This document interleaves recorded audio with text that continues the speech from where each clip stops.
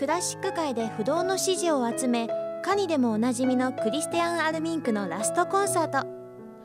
新日本フィルハーモニー交響楽団の音楽監督としてアーラに最高の音楽を届け続けたアルミンク最後となる今シーズン。ラストコンサートにふさわしいモーツァルトチャイコフスキーの名曲で感動のひとときをお過ごしください。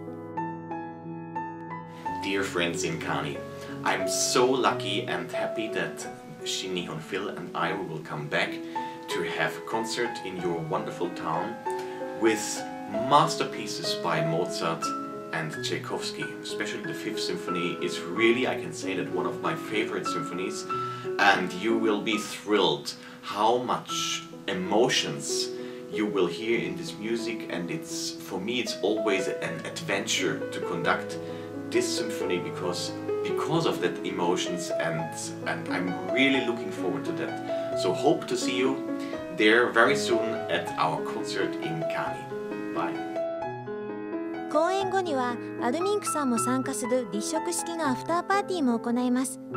直接お話しできる最後の機会をぜひお楽しみくださいアルミンク新日本フィルハーモニー交響楽団サマーコンサート2013は7月21日日曜日午後4時開演です。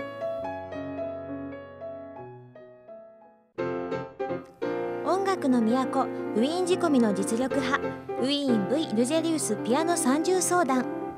演奏のみならず毎年会場を沸かせる多彩な話題楽しいトークもこのトリオの魅力。クラシック初心者でも楽しめるコンサートです。皆さんこんにちは。音楽の都ウィーンよりウィーンルジェリウスピアノ三重奏団です。今年はバラの町蟹市にふさわしいヨハン・シュトラウス作曲のワルツ「南国のバラ」や我々が13年前に演奏したメンデルスゾーンのピアノ三重奏曲第1番をメインにした楽しいコンサートを今年も行います。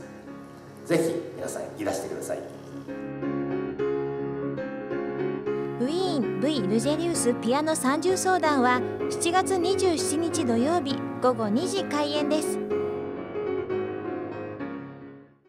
音楽家の集いの中でも毎年高い人気を誇り日本の未来を担うバイオリニスト辻彩奈そして音楽家の集いでおなじみの浜津清人。辻さんの高い技術と音楽性を発揮できる名曲の数々をフレッシュな演奏で存分にお楽しみください。音楽家の集いボリューム37は7月25日木曜日午後7時開演です。今月はアルミンク新日本フィルハーモニー交響楽団サマーコンサート2013ウィーン V ルゼリウスピアノ三重奏団。音楽家の集いボリューム37をご紹介しました。チケットの購入は可児市文化創造センターのホームページまたはインフォメーションまでお問い合わせください。皆様のお越しをお待ちしています。